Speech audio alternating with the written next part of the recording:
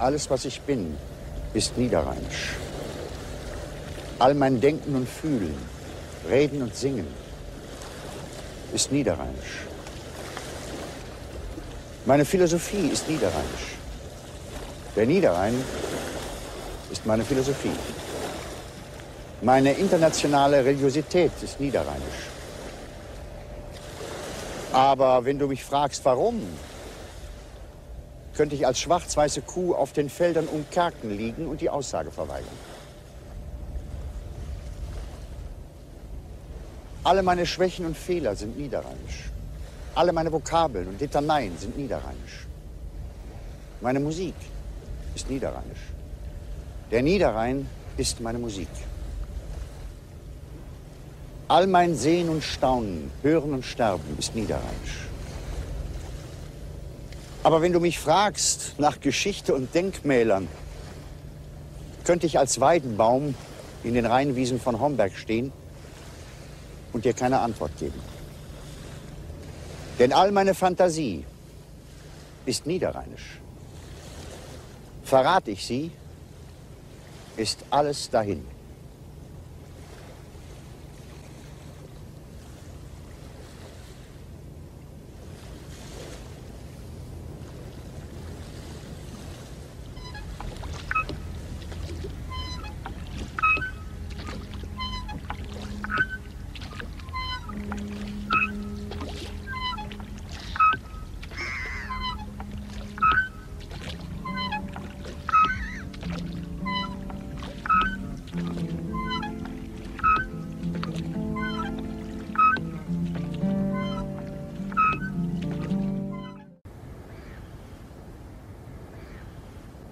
Den Rhein an der Seite suchte mein Vater die blaue Blume.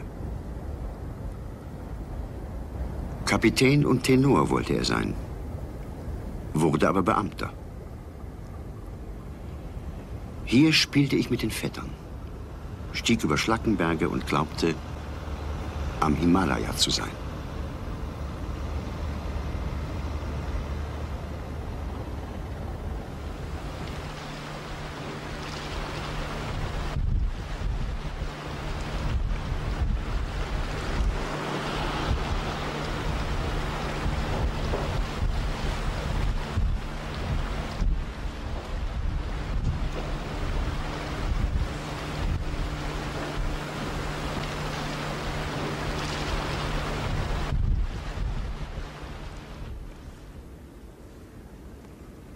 Homberg, die Welt meiner Großeltern väterlicherseits. Das kleine warme Haus, das mehrmals unterging, wenn der Rhein über die Ufer stieg, über die Felder rollte, in die Häuser drang. Und die Menschen auf den Dächern saßen, ergeben und arm. Und wieder von vorne anfingen. Was willst du machen?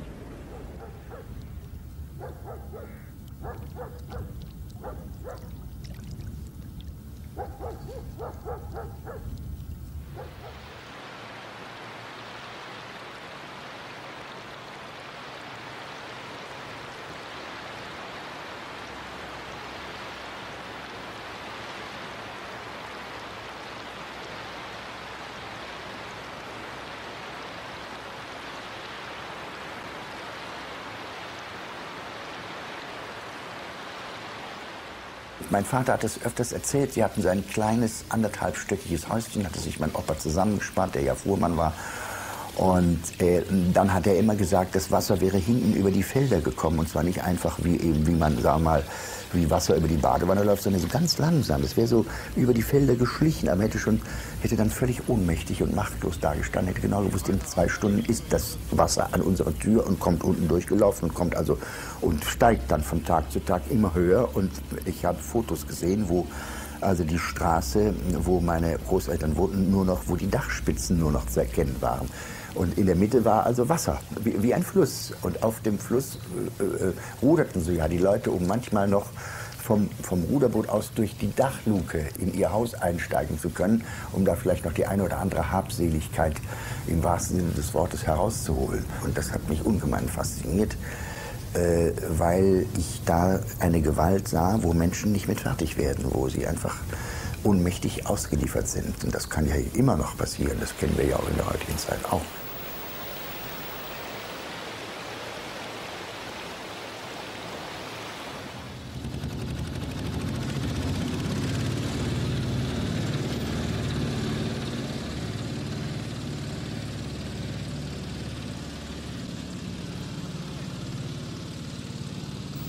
Das gehört einfach dazu, der Rhein und das Wasser. Das ist nicht einfach, dass da so, so ein Fluss vorbeifließt, sondern der Rhein gehört als ganz wichtiges Element zum Leben dazu. Selbst ich spüre ja äh, äh, immer noch den, den Rhein in meinem Nacken. Und ich halte es für keinen Zufall, dass ich also nicht in den Süden gegangen bin oder was weiß ich, nach München oder nach Hamburg, sondern dass ich am Rhein geblieben bin. Das muss eine ganz unbewusste Geschichte in den Menschen sein, dass, sie also den, dass der Fluss schon zum Leben dazugehört.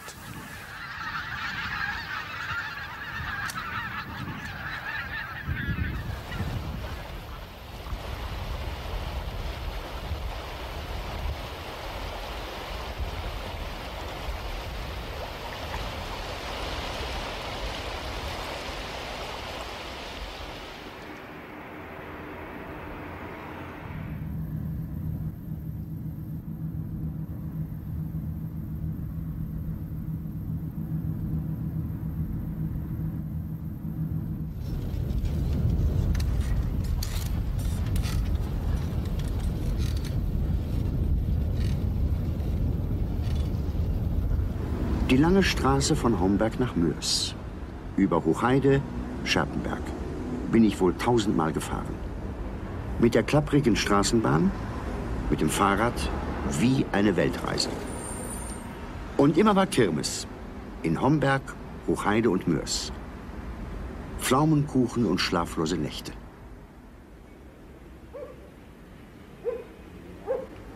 Hier aber wuchs meine andere Seele. Hier wuchs meine Mutter mit elf Geschwistern aus diesem Wirtshaus heraus in die Weltgeschichte hinein und brachte mich unter Schmerzen ans Licht. Hatte als Mädchen das Bier zu zapfen und trank selber gern den ersten berühmten Schluck. Kleiner Reichstag heißt dieses Wirtshaus. Hier diskutierten die Mörser sich fast zu Tode, labten sich aber auch bis spät in die Nacht. Und da frage ich mich noch, woher ich das hab, das Trinken und Denken, Gastwirte, Bauern, Fuhrleute, Tagelöhner und preußische Sekretäre und meine Oma, die mit dem schwarzen Kopftuch. Da kömmt ja mein Stümken, rief sie, wenn sie mich sah. Alle sind schuld an meiner Unfähigkeit, Lebewesen zu hassen.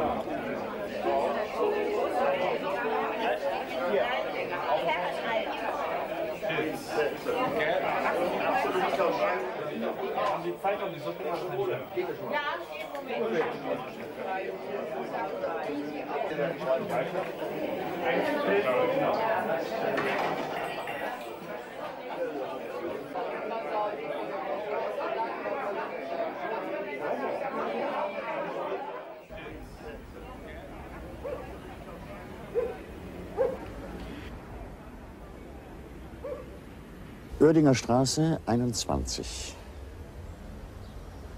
Der Birnbaum im Hof, die Kirschen im Garten, das Haus mit dem Erker, die Pappeln im Wind. Die Straße nach Schwafheim. Wer weiß, wo die Menschen von damals jetzt sind.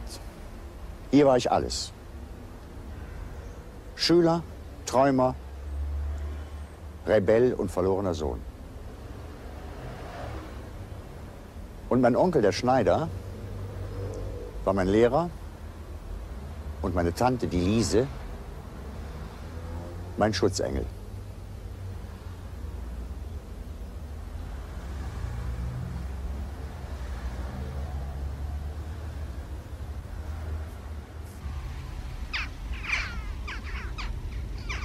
Mein Onkel war ja auch Philosoph und Pflanzenbeschreiber und Fachmann für feinste englische Stoffe.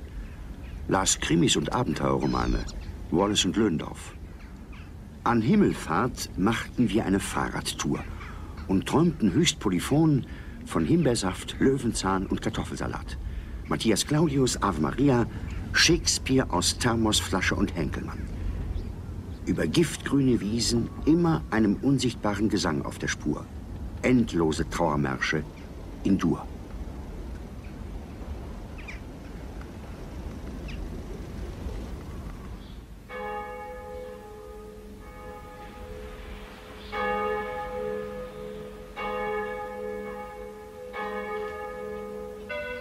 Samstags die Glocken.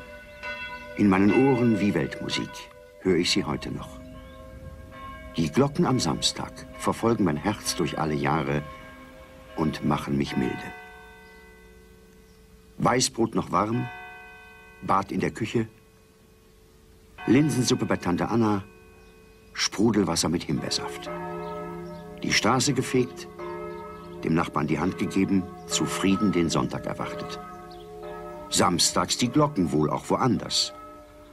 Aber am Niederrhein klingen sie metaphysisch.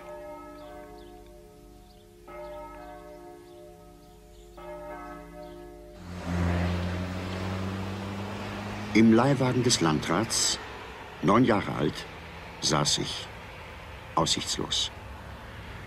Die dunkle Allee entlang nach St. Tönis fuhren wir ohne Umweg weiter nach Süchteln um meine niederrheinischen Füße zu reparieren.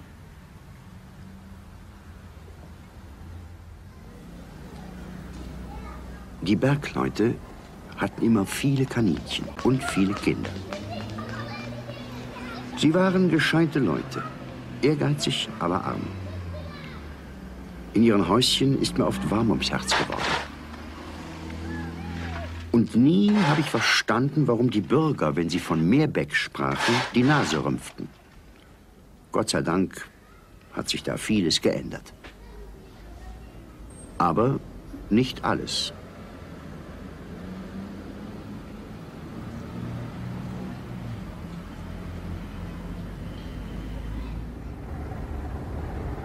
Düsseldorf und Krefeld waren für mich Weltstädte. Heute noch habe ich Angst vor großen Städten. In Düsseldorf und Krefeld, habe ich als Kind gedacht, müssen die Menschen viel größer und schöner und feiner sein. Alles gab es. In Düsseldorf und Krefeld wird auch nur mit Wasser gekocht. Wie in Berlin, Hamburg und München. Alles gab es. Aber als niederrheinisches Kind mit dem flachen Land im Genick, der schwarz-weißen Kuh im Kopf, meint man, da gehört man nicht hin. Alles gab es. Umgekehrt ist es. Die große Welt gehört nicht an den Niederrhein.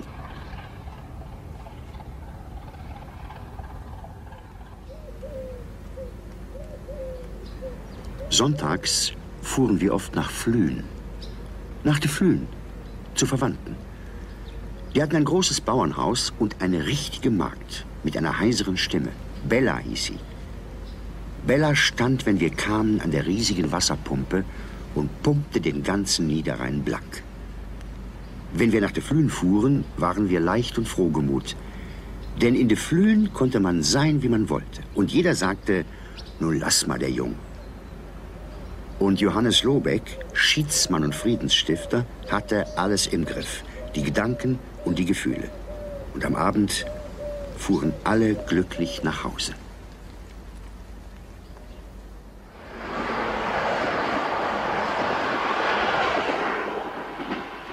Einmal stieg ich als Bub mit der Weihnachtsgans in den falschen Zug. Stieg wieder aus und lief mit der Gans dem richtigen Zug hinterher. Schneegestöber. Nichts war zu sehen. Vier Tage vor Heiligabend.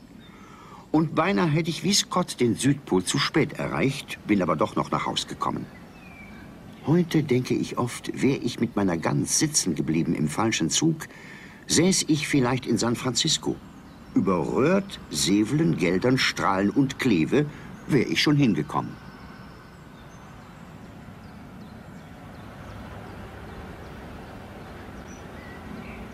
Herr van der Grinden, Sie sind hier in Kranenburg geboren. Ja. Sie sind also Kranenburger, das heißt Ja. also auch Niederrheiner. Ja. Sie sind Ihres Zeichens nach Konservator für moderne Kunst des 20. Jahrhunderts in Nimwegen. Ja. Das ist schon wieder auf der anderen Ja. Seite, Ja. im schönen Holland. Und äh, Sie sind aber auch, das möchte ich wohl erwähnen, Sammler und Bewahrer, Förderer und Freund des weltberühmten Niederrheiners Josef Beuys. Ja. Dies alles verleitet mich, zu der Frage, verraten Sie mir doch ein bisschen, was Ihrer Meinung nach die niederrheinische Fantasie ausmacht. Das ist nicht ganz einfach zu beantworten. Äh, die Fantasie ist jedenfalls keine ausufernde Fantasie, mhm. würde ich sagen. Aber andererseits hat sie auch keine äh, Züge von, äh, von Selbstbescheidung. Mhm. Das mhm. auch wieder nicht. Ja. Aber sie hat jedenfalls äh, die äh, im flämisch-brabantischen Raum, äh, in der Kunstgeschichte der Vergangenheit, besonders hervortretende Fantastik nicht. Mhm. Es ist auch so, dass man als, als niederrheinischer Mensch, ich könnte mir denken, es ist in manchen anderen Landschaften nicht anders, äh, von, vom literarischen Studium her und von der Begegnung mit dem vielen, was es an, an Bildmedien gibt, eine ungeheuer märchenhafte Vorstellung von dem Teil der Welt hat, den man nicht sieht, den man auch, aber auch nicht unmittelbar sehen will. Ja, das würde ich, das würde ich gerne ja. noch ergänzen. Ja. Nicht wahr? Wenn man einen ja. Niederrheiner könnte man sagen, äh, fragt, warst du denn schon mal am Amazonas? Er sagt, was soll ich am Amazonas? Ja. Ich habe zu Hause genug Amazonas. Ja, ja. Obwohl er durchaus in der Lage ist, dann plötzlich irgendetwas ja. über den Amazonas zu sagen.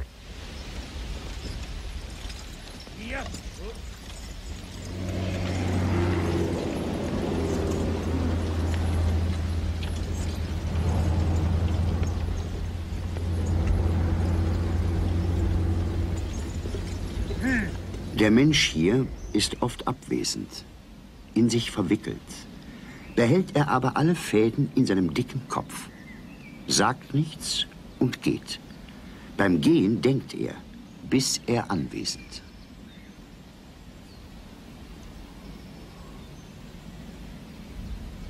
Schenkenschanz. Wirf mir einen Namen zu und ich mach dir eine Geschichte daraus. Als Kind war ich schon hinter Namen her, wie der Teufel hinter einem bösen Wind. Schenkenschanz las ich. Schenkenschanz, das muss ein Platz voller Narren sein, dachte ich als Kind. Denke ich auch heute noch. Denn ich war nie dort. Herr Stelzner, erzählen Sie mir doch bitte ein bisschen über das, was hier am Niederrhein früher war, in der Gegend um Schenkenschanz.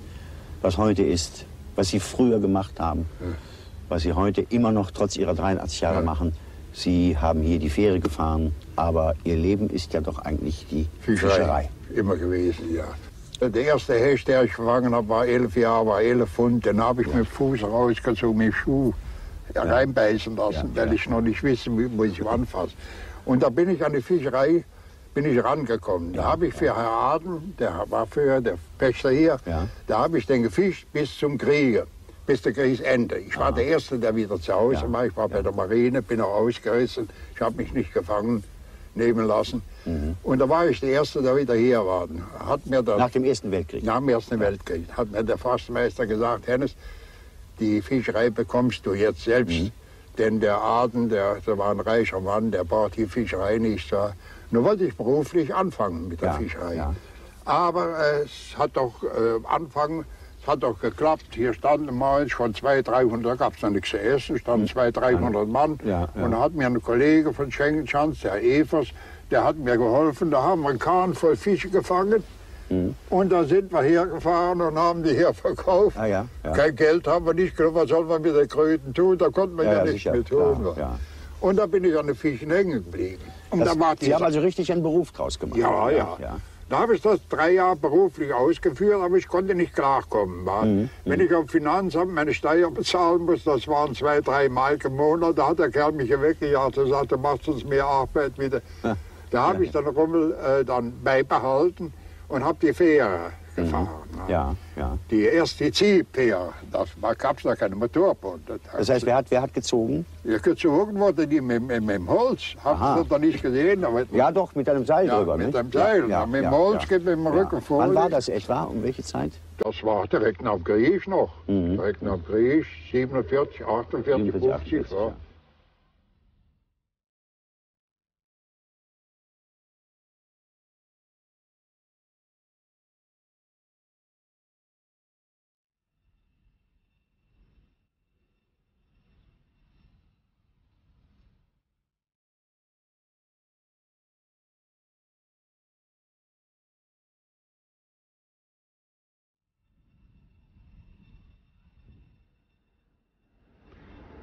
Nicht alle Wege führen nach Rom. Auch Xanten hat einen Dom. Augustus hat's 15 vor Christus gegründet und Rom mit dem unteren Rhein verbündet. Xanten liegt heute immer noch da, wie ehedem Roms Castra Vetera. Römisch, rheinisch, katholisch. Im Abendgrauen manchmal mongolisch.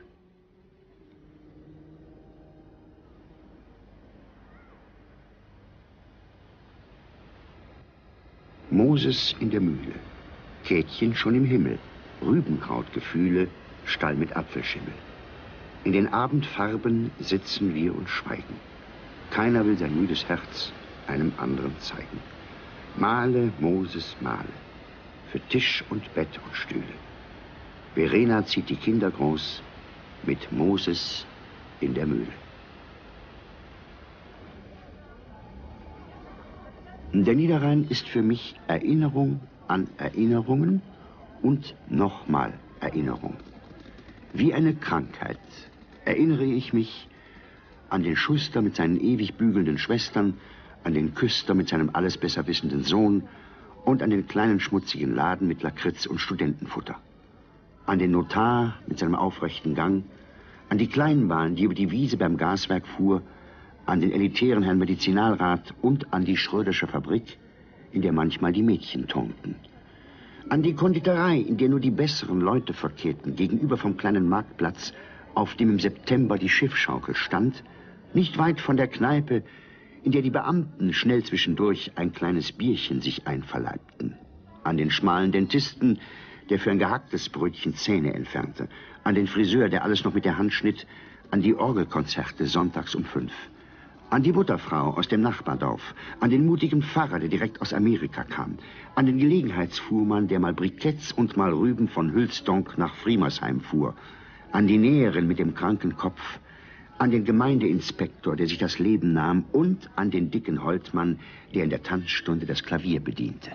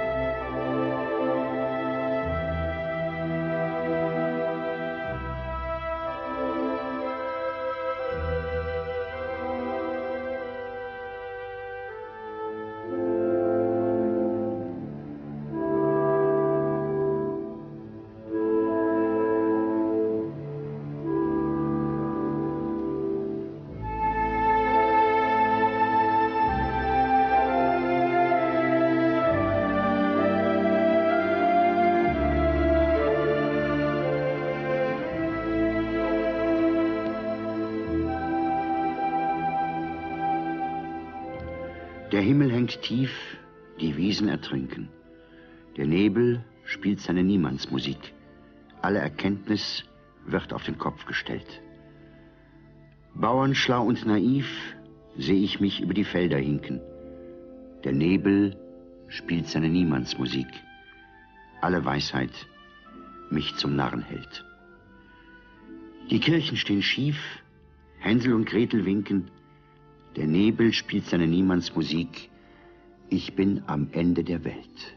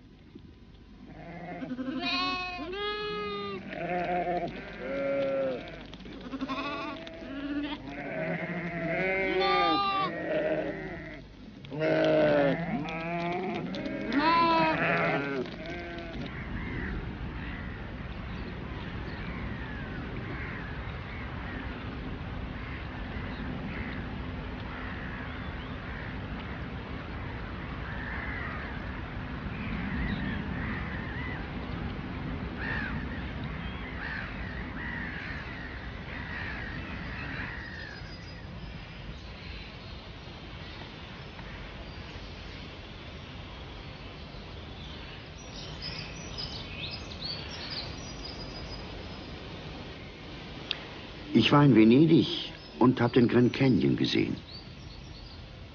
Das Licht der Welt aber sah ich am Niederrhein. Es wird mich lebenslänglich verfolgen. Es hat mein Gemüt erleuchtet und meinen Weg in die Städte tröstend erhellt.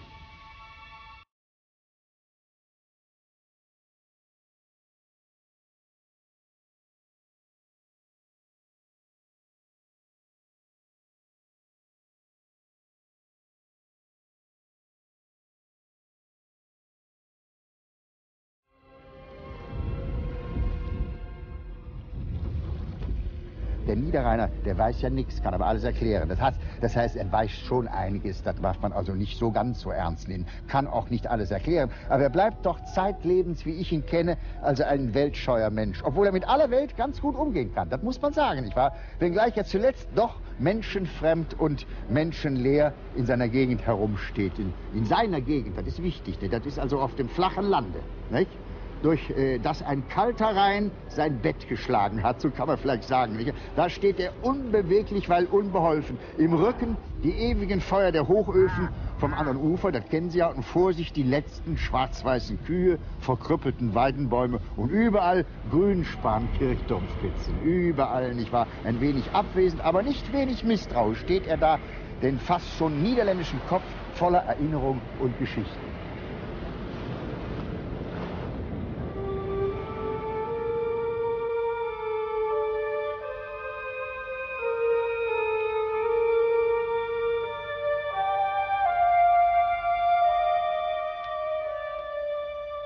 Ist äh, nichts los und es ist alles los. Es ist also diese, diese flache Gegend, von der ich gesagt habe, dass sie schwermütig macht, weil äh, es ist die Aussichtslosigkeit, die dahinter steckt.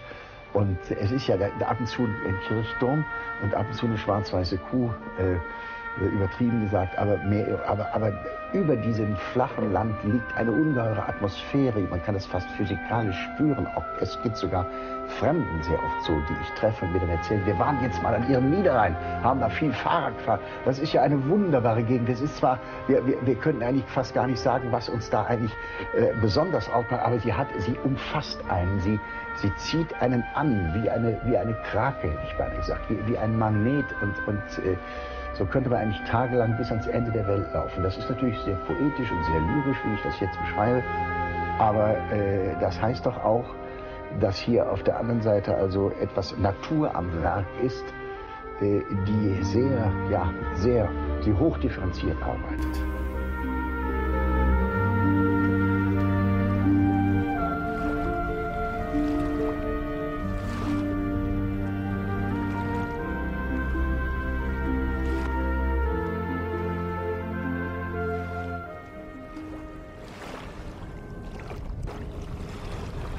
Wissen Sie, als ich den Slogan erfunden habe, überall ist Niederrhein, weitersagen, ne?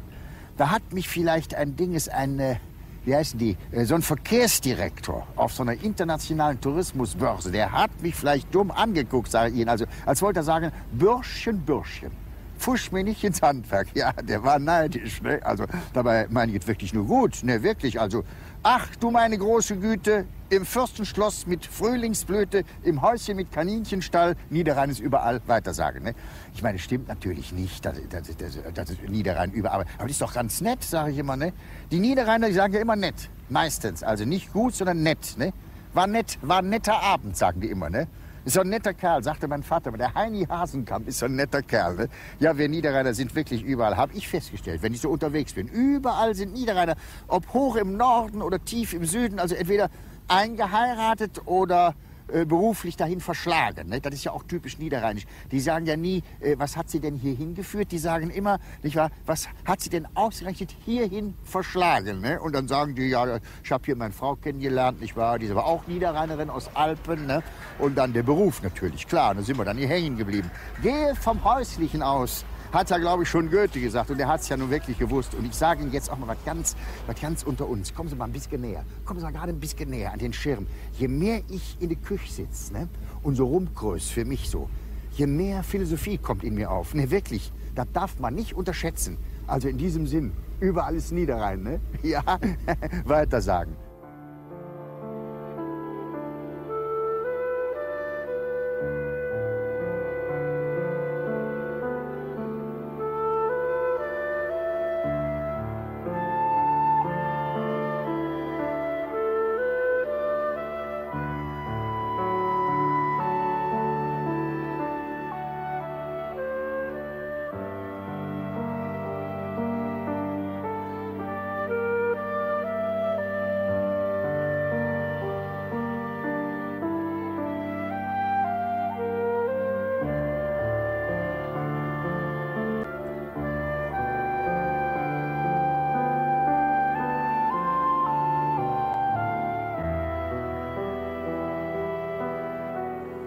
Zu Hause, das ist ein unsichtbares Bild, ein Zauberwort, ein altes Lied, ein Kinderwunsch, der sich am Ende erst erfüllt.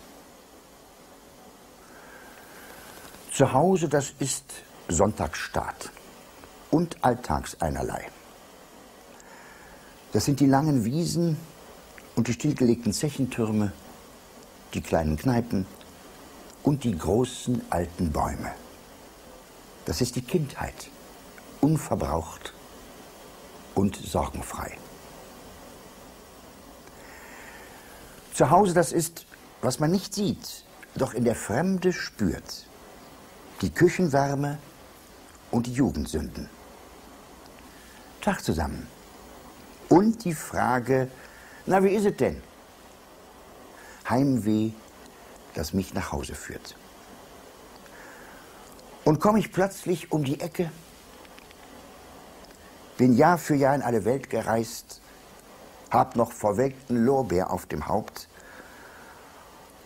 und jemand sagt mit gutem Blick, nur ruh dich mal ein bisschen aus. Dann weiß ich, was zu Hause heißt.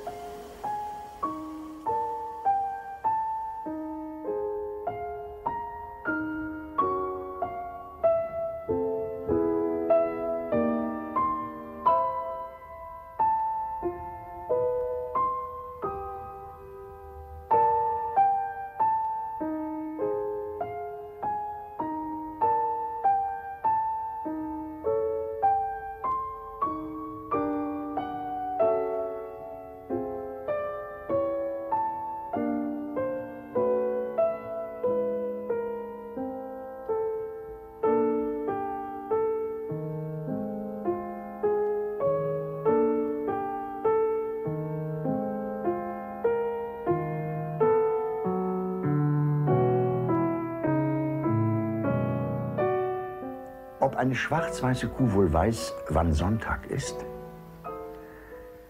Ob sie dann ganz anders frisst? Ob der Bauer sie in die Kirche schickt? Warum nicht? Schwarz-weiße Kühe sind lieb und sehr gut erzogen und haben noch nie gelogen. Sonntags möchte ich ihr lieben, erst noch die Gänse begrüßen und dann mit dem ganzen Niederrhein schnell in den Himmel fliegen.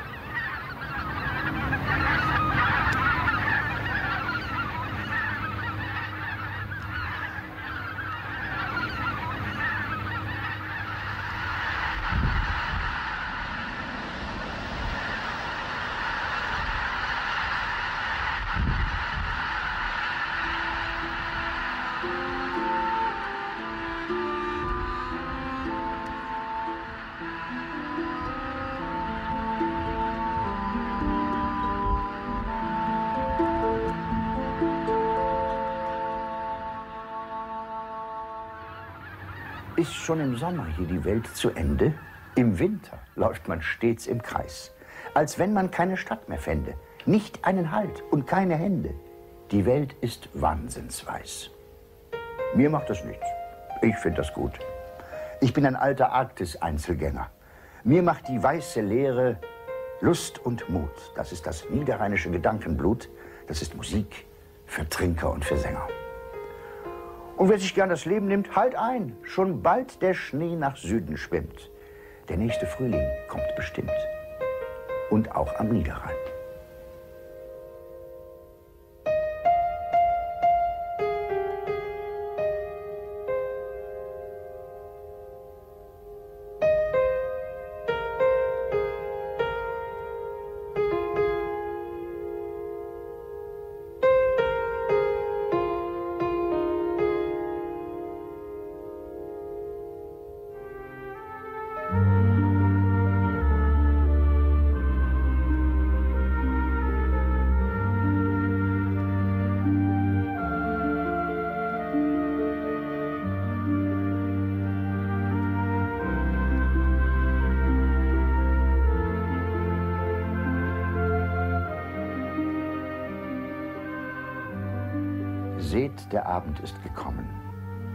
Ist am Himmel längs geschwommen, legt sich aufs Gemüt, bis der Mond verblüht.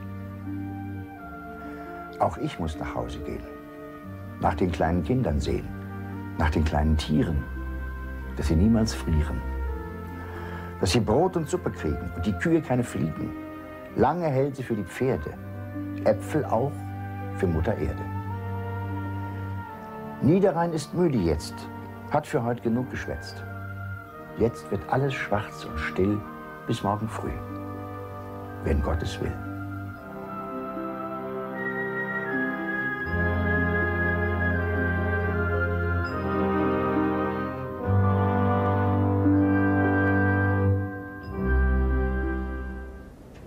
Natürlich ist mir heute vieles fremd.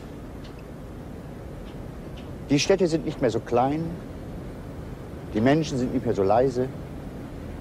Im Krankenbett der alte Rhein. Ich sitze in Cafés herum und denke an Vergangenheiten. Ich ziehe den Hut und grüße stumm die Träumer und die Todgeweihten.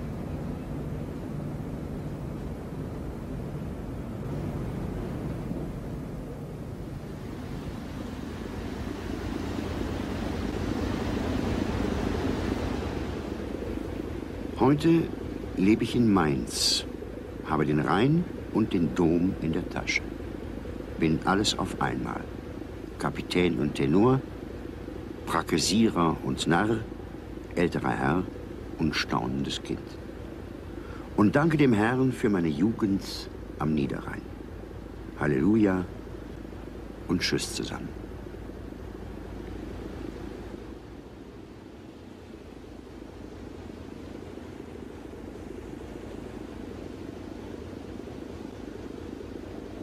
Gottes Termine stehen nicht in unserem Kalender. Und meinen kleinen Grabspruch darf ich zum Ende vielleicht noch sagen. Die einen werden sagen, er hat zu viel gemacht.